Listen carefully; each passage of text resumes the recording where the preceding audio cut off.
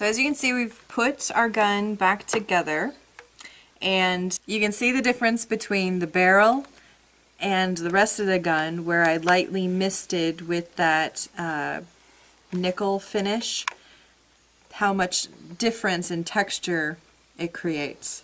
On top of this, this is your midpoint. On top of this, you're going to be doing some aging washes. You'll be using a product called Rub and Buff.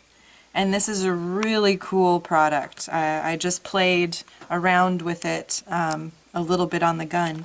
and the three colors that I used were the copper Spa or Spanish copper, pewter, and ebony. And I think those are the three colors that I'm going to use. I'm not going to use any of the other colors. There's a ruby, patina, white, and then a silver leaf, and then all of these guys here are all different golds.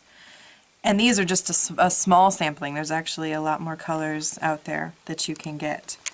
So if you look closely on the gun, here on this little grill, and then on this little switch, and then on this little part here on the back, I just rubbed some of this rub and buff onto it. It is a mixture of wax and actual pigment powder that are mostly all, they're, they're all metallics.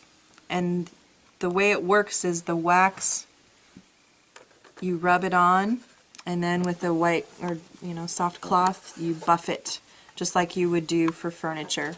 You would apply the wax and then you would buff it to a sheen. And it's very durable.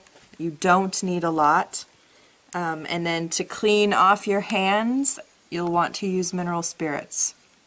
So that is our midpoint.